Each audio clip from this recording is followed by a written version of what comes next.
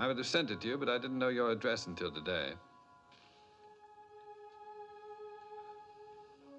She wanted you to have it, remember? So, uh, well, that's the uh, reason I.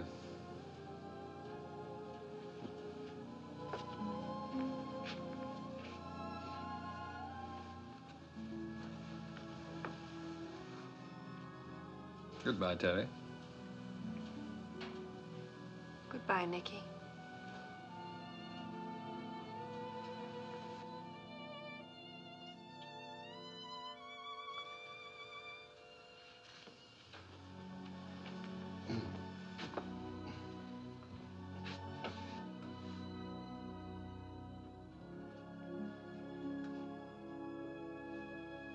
You know, I painted you like that with the shawl. I wish you could have seen it. Courbet said it was one of my best. I didn't think I could ever part with it. But, well, there's no reason to keep it any longer, and uh, I couldn't take money for it because, well, you know. So, uh, Courbet told me a young woman came into the gallery and uh, she liked it. She saw in it what I hoped you'd see, so I told Courbet to give it to her because uh, he said she didn't have any money, and not only that, she was. She was. Anyway, I told him to give it to her.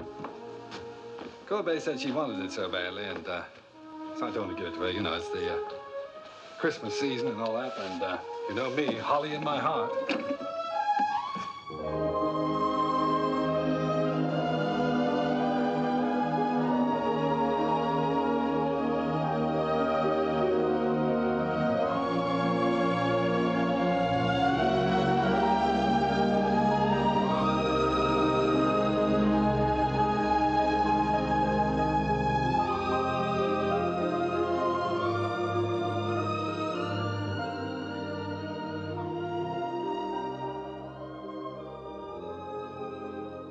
Darling, don't look at me like that.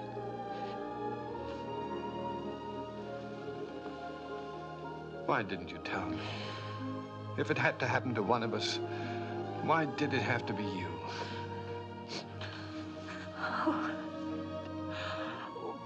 It was nobody's fault but my own. I, I was looking up. It was the nearest thing to heaven.